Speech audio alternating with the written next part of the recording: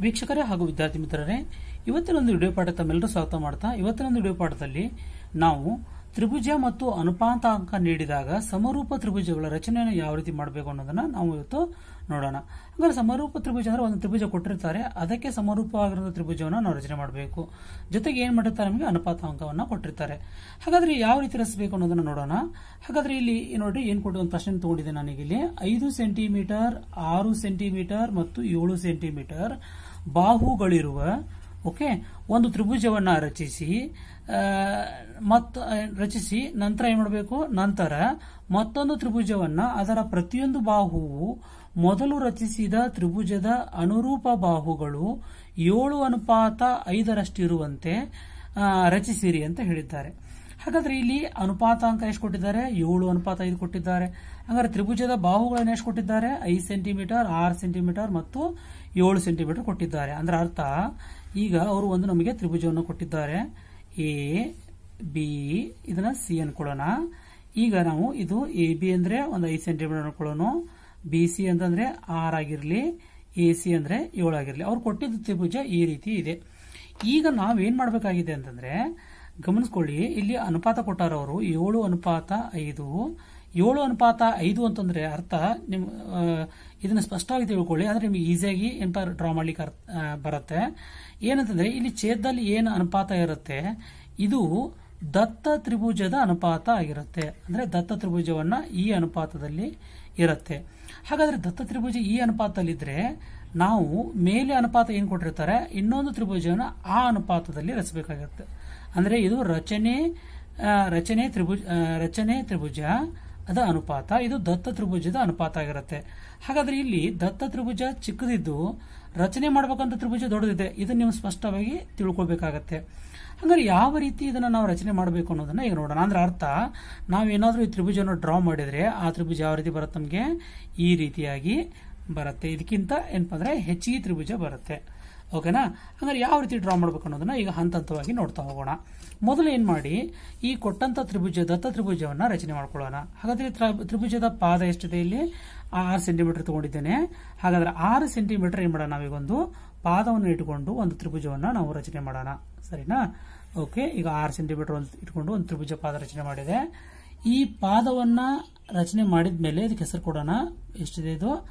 B C ಅಂತ ಇದೆ. ಇದು ಆರು ಸೆಂಟಿಮೀಟರ್ ಇದೆ. ಈಗ ನಾವೇನ್ ಮಾಡೋಣ ಅಂತಂದ್ರೆ ತ್ರಿಜ್ಯದ ಸಹಾಯದಿಂದ ಇನ್ನು ಉಳಿದಂತಹ ಬಾವುಗಳನ್ನ ರಚನೆ ಮಾಡೋಣ. ಇನ್ನು ಎ ಬಿ ಬಾವು ಎಷ್ಟಿದೆ? ಐದು ಸೆಂಟಿಮೀಟರ್ ಇದೆ. ಹಾಗಾದ್ರೆ ಐದು ಸೆಂಟಿಮೀಟರ್ ಅಳತೆಯನ್ನ ಇದರಲ್ಲಿ ತೆಗೆದುಕೊಳ್ಳಿ, ತ್ರಿಜ್ಯದಲ್ಲಿ ತಗೊಂಡು ಈಗೇನ್ ಮಾಡೋಣ? ಬೀದಲ್ಲಿ ಇಟ್ಟು ಇದನ್ನ ಕಟ್ ಮಾಡಿದೆ. ಹಾಗಾದ್ರೆ ಅದೇ ರೀತಿ ನೆಕ್ಸ್ಟ್ ಈಗ ಎ ಸಿ ಅಳತೆಯನ್ನು ಎಳೆಯೋಣ. ಏಳು ಸೆಂಟಿಮೀಟರ್ ಇದೆ. ಹಾಗಾದ್ರೆ ಈ ತ್ರಿಜ್ಯದಲ್ಲಿ ಏನ್ ಮಾಡಿ? ಏಳು ಸೆಂಟಿಮೀಟರ್ ಅಳತೆಯನ್ನು ತೆಗೆದುಕೊಳ್ಳಿ. ಏಳು ಸೆಂಟಿಮೀಟರ್ ಅಳತೆ ತಗೊಂಡೆ ತೆಗೆದುಕೊಂಡು ಈಗ ಸೀದಲ್ಲಿ ಇಟ್ಟು ಏನ್ ಮಾಡೋಣ ಈಗ ನಾವು ಈ ಆರ್ಕ್ ಅನ್ನ ಕಟ್ ಮಾಡೋಣ. ಸರಿನಾ? ಹಾಗಾದ್ರೆ ಕಟ್ ಆಗಲಿಲ್ಲ ಇದು. ಇನ್ನೊಮ್ಮೆ ಐದು ಸೆಂಟಿಮೀಟರ್ ತೆಗೆದುಕೊಂಡು ಇದನ್ನ ಆರ್ಕ್ ಅನ್ನ ಕಟ್ ಮಾಡೋಣ. ಈಗ ಇವೆರಡು ಆರ್ಕ್ ಎಲ್ಲಿ ಕಟ್ ಆಗಿದೆ? ಅದನ್ನ ನಾವೇನ್ ಮಾಡೋಣ? ಈಗ ಬಿಂದು ಹೆಸರು ಕೊಡೋಣ. ಎ ಅಂತ ಕೊಡೋಣ. ಎ ಅಂತ ಕೊಟ್ಟ ಮೇಲೆ ಈಗ ನಾವು ಇದನ್ನ ಎರಡು ಬಿ- ಎ ದಿಂದ ಬಿಂದುಗಳನ್ನ ಬಿಗೆ ಮತ್ತು ಸಿಗೆ ಸೇರಿಸೋಣ. ಈಗ ಸೇರಿಸೋದ್ರಿಂದ ಏನಾಯ್ತು ನಮಗೆ ಇಲ್ಲಿ ಎ ಬಿ ಸಿ ರೆಡಿ ಆಯಿತು. ಇದು ನಮಗೆ ಕೊಟ್ಟಂತಹ ತ್ರಿಭುಜ. ಹಾಗಾದ್ರೆ ಇದರ ಅಳತೆ ಎಷ್ಟಿದೆ? ಐದು ಸೆಂಟಿಮೀಟರ್ ಇದೆ. ಇದರ ಅಳತೆ ಏಳು ಸೆಂಟಿಮೀಟರ್ ಇದೆ. ಈಗ ನಾವೇನ್ ಮಾಡಬೇಕಾಗಿದೆ? ಇನ್ನೊಂದು ತ್ರಿಭುಜವನ್ನ ರಚಿಸಬೇಕಾಗಿದೆ. ಬಟ್ ಅದೇನಾಗಬೇಕು ಅಂತಂದ್ರೆ ಈ ತ್ರಿಭುಜದ ಬಾಹುಗಳಿಗೂ ಮತ್ತು ಆ ತ್ರಿಭುಜದ ಬಾಹುಗಳ ಅನುಪಾತ ಏಳು ಅನುಪಾತ ಐದಿರಬೇಕು ಆ ರೀತಿಯಲ್ಲಿ ನಾವು ರಚಿಸಬೇಕಾಗಿದೆ. ಈಗ ನಾನು ಹಾಗಾದ್ರೆ ಏನ್ ಮಾಡ್ತೇನೆ ಅಂತಂದ್ರೆ, ಇದನ್ನ ರಚನೆ ಮಾಡಬೇಕಲ್ಲ ಈಗ. ಈಗ ಏನ್ ಮಾಡ್ತೇನೆ? ಬೀದಲ್ಲಿ ಇಟ್ಟು ಒಂದು ಕಿರಣವನ್ನು ಎಳಿತೇನೆ ಈ ರೀತಿಯಾಗಿ. ಓಕೆ? ಕಿರಣ ಎಳೆದ್ಮೇಲೆ ಈಗ ನಾನು ಸ್ವಲ್ಪ ದೊಡ್ಡ ಹೇಳ್ಕೊಳ್ತೇನೆ. ಇದಕ್ಕೆ ಹೆಸರನ್ನ ಕೊಡ್ತೇನೆ. ಹೆಸರನ್ನ ಏನಪ್ಪ ಅಂದ್ರೆ ಇದಕ್ಕೆ ಡಿ ಅಂತ ಕೊಡ್ತೇನೆ. ಇದು ಕೊಟ್ಟ ಆದ್ಮೇಲೆ ಈಗ ನಾವೇನು ಮಾಡಬೇಕು? ಒಟ್ಟು ಇದರಲ್ಲಿ ಎಷ್ಟು ಭಾಗಗಳು ಹೆಚ್ಚು ನೋಡ್ಕೊಳ್ಳಿ. ಒಟ್ಟು ಇದಂದರೆ ಏಳು ಪಾನ್ ಐದು ಅಂತಂದರೆ ಹೆಚ್ಚಿಗೆ ಭಾಗಗಳು ಎಷ್ಟು ಏಳು ಇದೆ. ಅಂದ್ರೆ ಏಳು, ನಾವು ಏಳು ಭಾಗಗಳ ಇರೋ, ಅನುಪಾತ ಇರುವಂತೆ ರಚನೆ ಮಾಡೋದ್ರಿಂದ ಏಳು ಇದೆ. ಏಳು ಭಾಗಗಳನ್ನ ಈ ಇದರಲ್ಲಿ ಕಿರಣದ ಮೇಲೆ ಮಾಡ್ಕೋಬೇಕಾಗತ್ತೆ. ಹಾಗಾದ್ರೆ ಯಾವ ರೀತಿ ಮಾಡ್ಕೋಬೇಕು? ಮೊದಲು ಒಂದು ಚಿಕ್ಕ ಅಳತೆಯನ್ನು ತೆಗೆದುಕೊಳ್ಳಿ. ಚಿಕ್ಕ ಅಳತೆಯನ್ನು ತೆಗೆದುಕೊಂಡು ಈ ಒಂದು ಕಿರಣದ ಮೇಲೆ ಏಳು ಭಾಗಗಳನ್ನ ಮಾಡಿ. ಓಕೆನಾ ಒಂದು ಭಾಗ. ಇಲ್ಲಿ ಎರಡಾಯಿತು. ಓಕೆ ಇನ್ನು ನೆಕ್ಸ್ಟು ಮೂರು, ನಾಲ್ಕು, ಐದು, ಆರು, ಮತ್ತು ಏಳು ಭಾಗ. ಇಲ್ಲಿಗೆ ಏಳು ಭಾಗ ಆಯಿತು. ಈ ಎಲ್ಲ ಭಾಗಗಳಿಗೆ ಹೆಸರು ಕೊಡೋಣ. ಈ ಮೊದಲನೇ ಭಾಗಕ್ಕೆ ನಾವು ಇದಕ್ಕೆ ಬಿ ಒನ್ ಅಂತ ಕೊಡ್ತೀನಿ. ಇದು ಬಿ ಟು ಮತ್ತು ಬಿ ತ್ರೀ ಇದು ಬಿ ಫೋರ್ ಬಿ ಫೈವ್ ಇದು ಬಿ ಸಿಕ್ಸ್ ಇದೇನಾಗಿರಲಿ ಬಿ ಸೆವೆನ್ ಇದು ಆದಮೇಲೆ ಏನು ಮಾಡಿ, ಇದರ ಅವ್ರು ಹೇಳೋದೇನಂತಂದ್ರೆ, ಈಗ ನಮಗೆ ಏಳು ಅನುಪಾತ ಐದರ ರಚನೆ ಮಾಡಂತ ಹೇಳಿದಾರಲ್ಲ, ಹಾಗಾದ್ರೆ ನಮಗೆ ಕೊಟ್ಟಂತಹ ತ್ರಿಭುಜದ ಬಾಹು ಎಷ್ಟಿದೆ? ಐದಿದೆ ಈ ಐದನೇ ಬಿಂದುವನ್ನ ಇದರ ಕೊನೆಗೆ ಸೇರಿಸಿ. ಇಲ್ಲಿ ಸೇರಿಸಿದ ಮೇಲೆ ಈಗ ನಾವೇನ್ ಮಾಡೋಣ?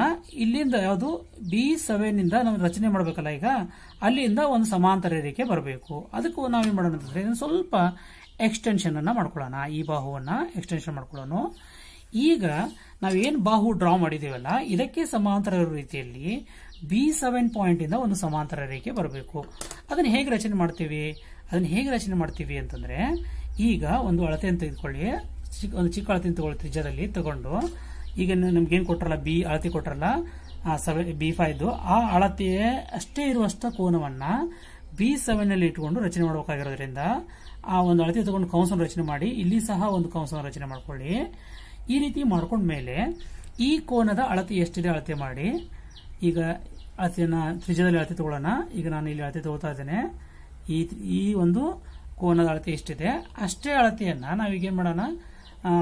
ಇನ್ನೊಂದು ಇದರಲ್ಲಿ ಈ ಕೆಳಗಿನದರಲ್ಲಿ ಅಳತೆಯನ್ನ ತೆಗೆದುಕೊಳ್ಳೋಣ. ಓಕೆನಾ? ಸರಿ, ಈಗ ಅಳತೆಯನ್ನ ಇಲ್ಲಿ ತೆಗೆದುಕೊಳ್ಳೋಣ. ಈಗ ತೆಗೆದುಕೊಂಡ್ಮೇಲೆ ಏನಾಯಿತು? ಈಗ ನಾವು ಇದನ್ನ ಸ್ಕೇಲಿಂದ ಬಿ ಸೆವೆನ್ ಪಾಯಿಂಟ್ ಅನ್ನ ಈ ಪಾಯಿಂಟ್ ಎಲ್ಲಿ ಕಟ್ ಆಗಿದೆ, ಅಲ್ಲಿಂದ ಏನ್ ಮಾಡೋಣ, ಒಂದು ಸಮಾಂತರ ಬರೋ ರೀತಿಯಲ್ಲಿ, ಅಂದ್ರೆ ಈ ಪಾಯಿಂಟ್ ಮುಖಾಂತರ ಹಾದು ಹೋಗಿ ಒಂದು ಸಮಾಂತರ ರೇಖೆಯನ್ನ ಎಳೆಯೋಣ. ಇದು ಎಳೆದ ಮೇಲೆ ಏನಾಯ್ತು, ಇದು ಎಲ್ಲಿ ಕಟ್ ಆಗತ್ತಲ್ಲ, ಅದಕ್ಕೆ ಅದಕ್ಕೆ ಸಿ ಡ್ಯಾಶ್ ಅಂತ ಹೆಸರು ಕೊಡಿ. ಇಷ್ಟ ಆದ್ಮೇಲೆ ಈಗ ನಮಗೆ ಇಲ್ಲಿಂದ ಏನ್ ಮಾಡಬೇಕು, ಇನ್ನೊಂದು ಬಾವು ಹೋಗ್ಬೇಕಲ್ಲ ಈಗ, ತ್ರಿಭುಜ ಆಗ್ಬೇಕಲ್ಲ, ಅದಕ್ಕೋಸ್ಕರ ನಾ ಏನ್ ಮಾಡ್ತೀನಿ, ಈಗ ಆಲ್ರೆಡಿ ನಮ್ಗೆ ಏನ್ ಕೊಟ್ಟಂತ ತ್ರಿಭುಜ ಕೊಟ್ಟಾರಲ್ಲ ಅದರ ಅಳತೆಯನ್ನು ತೆಗೆದುಕೊಳ್ತೇನೆ. ಒಂದು ಸಣ್ಣ ಅಳತೆ ತಗೊಂಡು ಕಂಸ ಮಾಡ್ಕೊಳ್ತೇನೆ. ಕಂಸ ಮಾಡಿದ ಮೇಲೆ ಈ ಅಳತೆಯನ್ನು ಈ ರೀತಿ ಡ್ರಾ ಮಾಡ್ತೇನೆ. ಇದೇ ಅಳತೆಯನ್ನು ಇಟ್ಕೊಂಡು ಸಿ ಡ್ಯಾಶ್ನಲ್ಲಿ ಇಟ್ಟು ಮತ್ತೊಂದು ಕಂಸವನ್ನು ನಾನು ಇಲ್ಲಿ ರಚನೆ ಮಾಡ್ತೇನೆ. ಈಗ ಈ ಕೋನ ಎಷ್ಟಿದೆ ಅಳತೆ ಮಾಡ್ಕೊಳ್ಳಿ. ನಿಮ್ಮ ತ್ರಿಜ್ಯದಲ್ಲಿ ಇಷ್ಟು ಅಳತೆ ಇದೆ. ಅಷ್ಟೇ ಅಳತೆಯನ್ನ ಇಲ್ಲಿ ರಚನೆ ಮಾಡ್ಕೊಳ್ಳಿ. ಈಗ ಏನ್ ಮಾಡಿ? ಸಿ ಡ್ಯಾಶ್ನಿಂದ ಇಲ್ಲಿ ಒಂದು ರೇಖೆನ ಎಳೆಯಿರಿ. ಸಮಾಂತರವಾಗಿ. ಅದಕ್ಕಿಂತ ಮುಂಚಿತವಾಗಿ ಸ್ವಲ್ಪ ಇದನ್ನ ನಾನು ಏನ್ ಮಾಡ್ತೇನೆ? ಎಕ್ಸ್ಟೆನ್ಷನ್ ಮಾಡ್ಕೊಳ್ತೇನೆ. ಈಗ ಮಾಡ್ಕೊಂಡ್ಮೇಲೆ ಈಗ ನಾವು ಮಾಡೋಣ, ಈ ಸಿ ಡ್ಯಾಶ್ ಮುಖಾಂತರ ಹಾದು ಹೋಗೋ ರೀತಿಯಲ್ಲಿ ಸಾರಿ ಈ ಸಿ ಡ್ಯಾಶ್ ಇಂದ ಈ ಏನ್ ಪಾಯಿಂಟ್ ಕಟ್ ಆಗಿದೆ, ಅದರ ಮುಖಾಂತರ ಹಾದು ಹೋಗಿ ಒಂದು ರೇಖೆನ ಎಳಿತೇನೆ ಇದು ಸಮಾಂತರ ಇದಕ್ಕೆ ಇರಬೇಕು. ಇದಕ್ಕೆ ನಾನು ಏನ್ ಮಾಡ್ತೇನೆ ಎ ಡ್ಯಾಶ್ ಅಂತ ಹೆಸರು ಕೊಡ್ತೇನೆ. ಇದು ಏನಪ್ಪಾ ಅಂದ್ರೆ ನಾವು ರಚನೆ ಮಾಡಬೇಕಾದಂತಹ ತ್ರಿಭುಜ. ಈಗ ಯಾವುದು ತ್ರಿಭುಜ ಅದು? ಎ ಬಿ ಸಿ ಮತ್ತೆ ಎ ಡ್ಯಾಶ್ ಯಾವ ತ್ರಿಭುಜ? ತ್ರಿಭುಜ B C B C dash A dash ಇದು ನಾವು ರಚಿಸಿದಂತ ತ್ರಿಭುಜ. ನಮಗೆ ಕೊಟ್ಟಂತ ತ್ರಿಭುಜ ಯಾವುದು?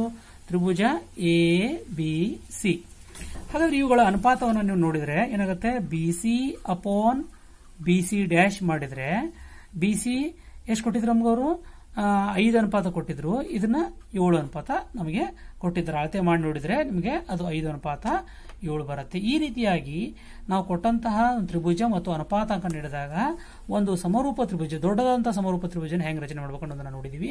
ಈ ವಿಡಿಯೋ ತಮ್ಮೆಲ್ಲರೂ ಇಷ್ಟ ಆಯ್ತು ಅಂದ್ಕೊಂಡಿದ್ದೇನೆ. ಈ ವಿಡಿಯೋ ಇಷ್ಟ ಆಗಿದ್ರೆ ಶೇರ್ ಮಾಡಿ ಲೈಕ್ ಮಾಡಿ, ಮತ್ತು ನನ್ನ ಚಾನಲ್ ಹೊಸಬರಾಗಿದ್ದರೆ ಸಬ್ಸ್ಕ್ರೈಬ್ ಮಾಡೋದನ್ನ ಮರಿಬೇಡಿ.